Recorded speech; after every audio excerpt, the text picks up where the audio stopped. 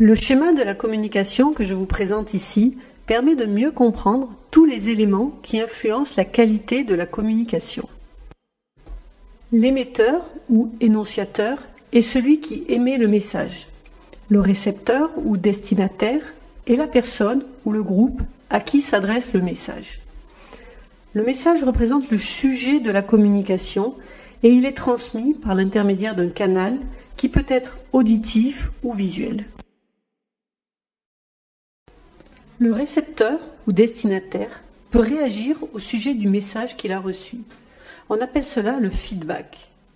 Le feedback permet de s'assurer de la bonne compréhension du message par le récepteur. Il peut être verbal ou non verbal, comme au pigné de la tête par exemple. Certains éléments peuvent venir perturber la communication. On les nomme bruit.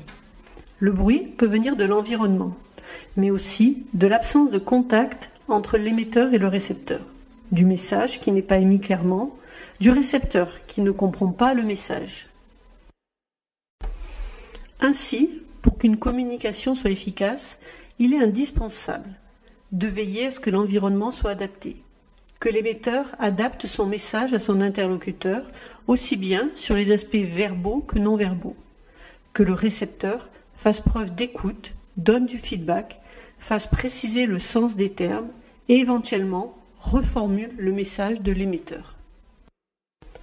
Alors, vous aussi, prenez soin de vos communications pour atteindre vos objectifs et faire passer vos messages avec succès.